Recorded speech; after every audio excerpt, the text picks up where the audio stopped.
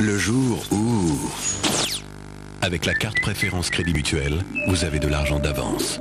Crédit Mutuel, la banque à qui parler.